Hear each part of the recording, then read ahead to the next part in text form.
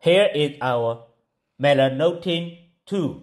It is used for tanning, weight loss, erectile dysfunction, rosacea shear,